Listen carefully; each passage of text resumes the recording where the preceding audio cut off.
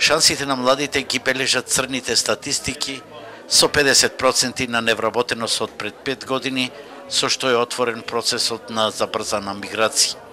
Овие факти денеска беа потенцирани на сајмот на кариера, што по четврти пат во Битола го организираше Младинскиот културен центар со сите поттикнувачки мерки, за жал мотивирачките ефекти не се постигнати. Фактот дека ништо не е постигнато во делот на мотивирање и делот на поврзување помеѓу образованието, особено стручното образование и потребите на бизнес секторот, и енормниот раст на високообразовни кадри, кои што не се соодветни со потребите на бизнисот, ја создава целокупната слика во која што оние што завршиле факултет немаат каде да се интегрираат нити во бизнисот, нити во во во, во обществените а, работни места, тие први заминуваат. А, одливот на мозоци веќе ме завршена приказна. Останува уште да се да се случи и одливот на работници во во фаза во која што сме а, генерално не само за Вобитола, туку 50% младите скоро во секој град се заминати, а останатиот 50% секој утро размислува како да замине а, од државата.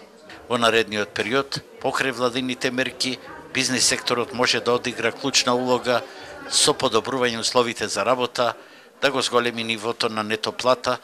и необходен е систем на трансформација на процесот од образование до вработување, беше речено на корнерот за намалување на младинската миграција.